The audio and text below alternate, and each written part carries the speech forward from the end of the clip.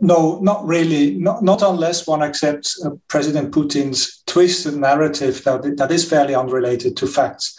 I'm surprised that even in Western Europe, the argument is, is put forward or is accepted that somehow this war is a reaction to an aggressive eastward expansion of NATO. I think that overlooks that the Eastern European states are sovereign states.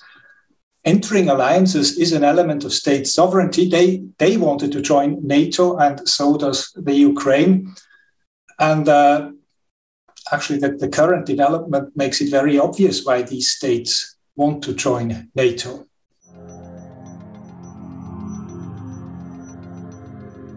Yes, it is interesting that even in this situation, somehow Russia apparently feels a need to justify its actions under international law. Uh, yet these actions, in fact, are straight out of the playbook of a war of aggression. I think there's no justification under international law. First, uh, Russia stoked ethnic conflict in a neighboring region. Uh, then it recognizes two secessionist entities. And finally, it invokes the right to collective self defense. Now, it is, of course, true that that is a right that is codified in the United Nations Charter, but the preconditions for lawful self defense are not met in this case in any way. These entities are, are illegal uh, hence, they cannot invoke the right to lawful self defense. There was no Ukrainian attack, uh, certainly not on the, on, on the territory of another state. And in any way, the Russian response is certainly not proportional. Also, uh, actually, a, a situation of self defense should be immediately reported to the UN Security Council. Yet we see that Russia even denies the uh, existence of an armed conflict.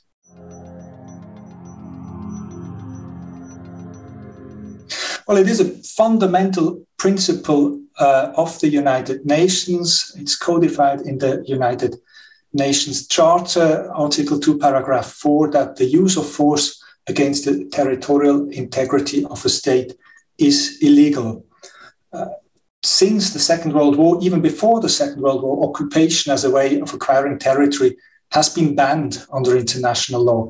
Uh, and that is the reason why, for instance, the annexation of the Crimean by Russia in 2014 was also illegal and has not been recognized internationally.